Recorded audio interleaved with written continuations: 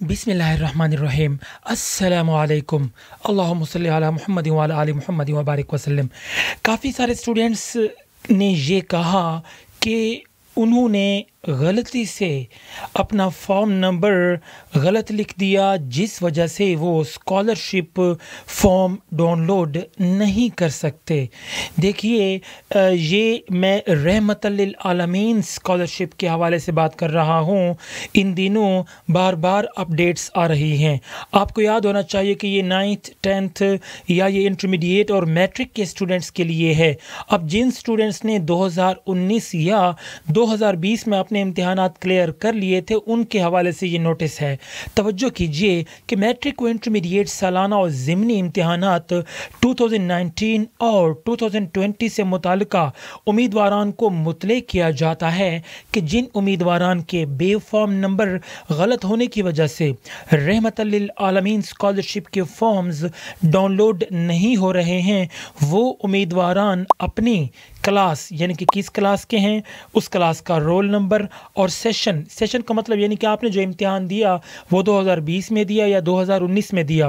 اور بے form number دیے گئے بورڈ کے ای میل ایڈریس پر سینڈ کر دیں۔ اگر آپ کا بے فارم بے فارم نمبر غلط غلطی سے غلط درج ہو چکا ہے اور آپ فارم ڈاؤن لوڈ نہیں کر سکتے، تو آپ اپنی کلاس، اپنا رول نمبر، سیشن اور بے فارم نمبر جو بورڈ کا ای میل ایڈریس ہے، اس پہ آپ سینڈ کر دیں گے بائیس یعنی کہ board of intermediate and secondary education seven eighty six at the rate of Gmail dot com. اس پر ای میل کریں تاکہ ان کے رحمت للعالمین اسکالرشپ کے فارمز ڈاؤن لوڈ ہو سکیں۔ اسکالرشپ فارمز ڈاؤن لوڈ کرنے کی آخری تاریخ پچیس مارچ دو ہزار اکیس ہے۔ ہم آپ کو پہلے بتا چکے ہیں۔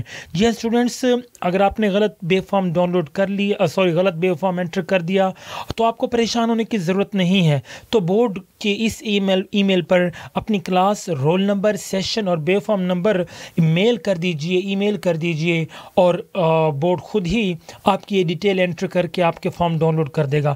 اب یہ جو نوٹیفیکیشن ہے، یہ یہ پنجاب بورڈ کی طرف سے آیا ہے۔ ٹھیک ہے؟ گیارہ مارچ کو یہ نوٹیفیکیشن آیا ہے۔ آج ہم تک پہنچا ہے۔ تو آپ کے ساتھ شیئر کر رہے ہیں۔ یہ دیکھیے سیکٹری کی سگنیچر بھی ہیں اور یہ ڈیر غازی خان بورڈ۔ یعنی کہ ڈیر غازی خان پنجاب کا بورڈ ہے۔ تو اس کا مطلب یہ ہے کہ پنجاب کے تمام بورڈ یعنی کہ پورے پنجاب میں اگر کہیں پہ کوئی پرابلم ہے، کسی کا اگر فارم ڈاؤن لوڈ نہیں ہو رہا، بے فارم غلط درج ہوا یا کوئی اور مسئلہ ہے، تو وہ بھی آپ اس ای میل پر صحیح جو انفارمیشن ہے پرووائڈ کر سکتے ہیں۔ یاد رکھیے کہ آپ نے اگر اگر آپ اس اسکالرشپ کے لیے اپلائی نہیں کر سکتے، اہل نہیں ہیں، پھر آپ کو غلط انفارمیشن نہیں دینی چاہیے، کیونکہ پوری انکوائری کی جائے گی، اس کے بعد ہی اسکالرشپ کنفرم کی جائے گی۔ آپ سے گزارش ہے کہ اس نوٹیفکیشن نوٹیفیکیشن کو شیئر کر دیجیے تاکہ جن اسٹوڈنٹس کو یہ پرابلم ہے کیونکہ کافی سارے اسٹوڈنٹس کو یہ پرابلم تھی تو بورڈ کی طرف سے یہ نوٹیفیکیشن جاری کیا گیا۔ اسے شیئر کر دیجیے تاکہ اسٹوڈنٹس تک یہ انفارمیشن پہنچ جائے پہنچ جائے اور وہ بر وقت فارم ڈاؤن لوڈ کرنے کے بعد اپلائی کر سکیں۔ مزید اگر آپ کے ذہن میں کوئی کویسچن ہے تو نیچے کمنٹ باکس میں آپ پوچھ سکتے ہیں۔ اس ویڈیو کو لائک کر دیجیے شیئر کر دیجیے۔ Thank you so very much for watching اللہ حافظ۔